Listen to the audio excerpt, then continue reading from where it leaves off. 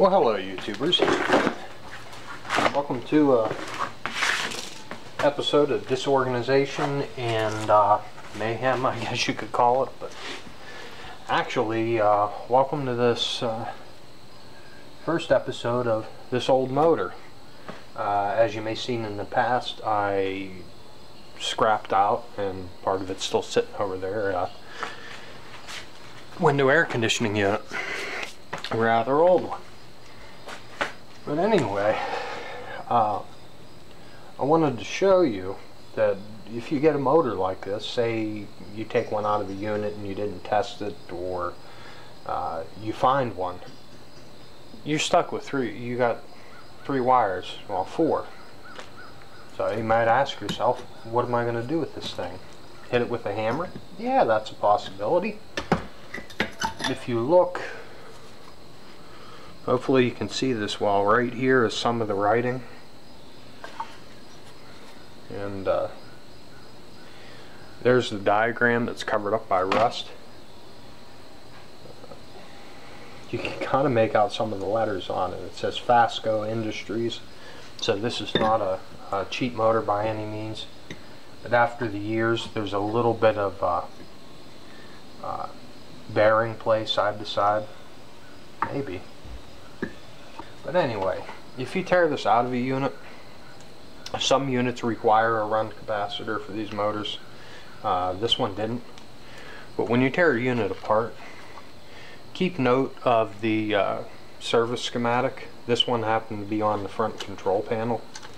Uh, some of them are in a little uh, um, plastic pocket folded up and others are folded up and stuck behind the uh, panel here. They can be in a variety of places. But when it boils down to it, this motor happens to be uh, universal in the fact that, excuse me, in the fact that we got a white, we have a red wire, a black wire, and a green. The white is usually common. In this case, verified by the schematic, it is common. So you strip that wire off. Uh, usually on blower motors, even especially with HVAC, usually, not always, usually your black wire is high speed and red is low. So what we're going to do here, we're going to test this motor out. And pretty much all you need is a three wire cord like this with a ground and I do suggest hooking up the ground. Because uh, if this motor has any issues or some shorts in it um, it makes uh, I don't want to say it. Yeah, you're better off. Um, it's safer that way. On this particular cord, I usually try and keep the polarity correct. You can look at your end of the plug, which goes in the outlet this way. Neutral, neutral's on your left, hot's on your right, ground's on the bottom. This cord happens to have a black stripe and a rib uh, running down there. So we're going to go ahead and hook that to the neutral line on the motor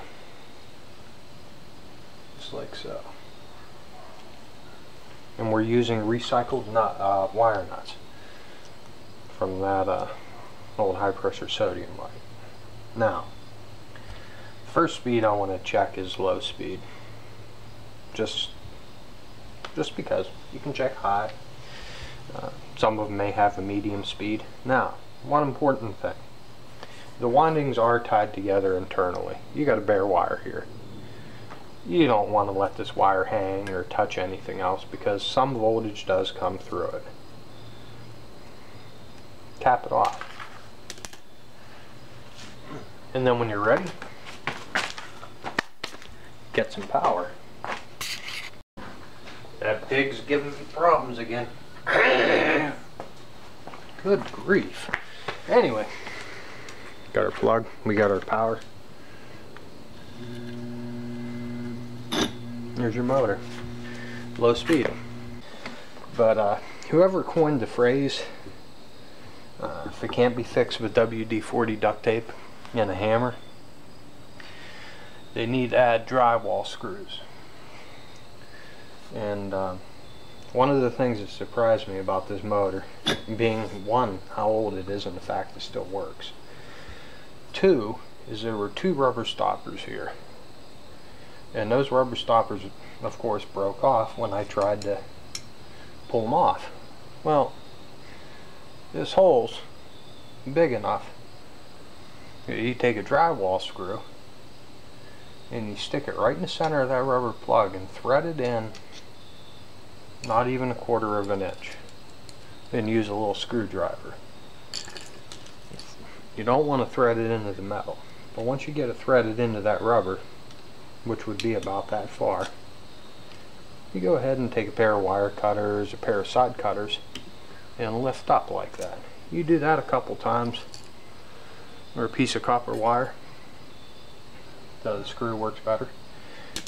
It takes really can't see that but uh, it comes out in chunks but it takes the rubber stoppers out and you can tell the holes are clear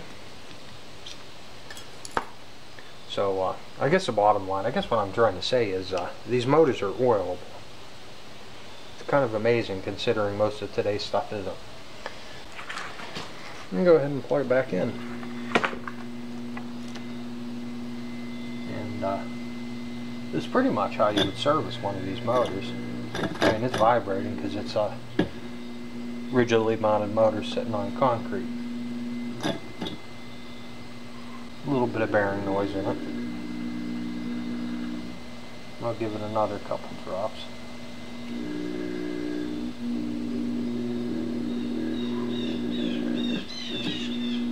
Hopefully it's getting down there to the bearings.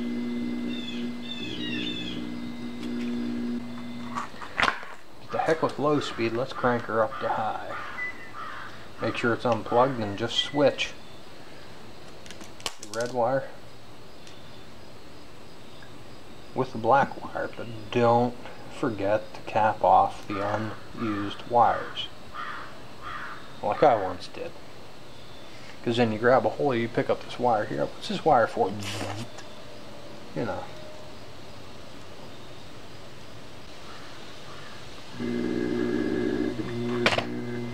Now we got high speed. And still, as you can see, it's not a torquey motor.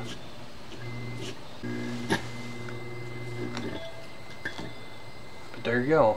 High speed, quiet as can be.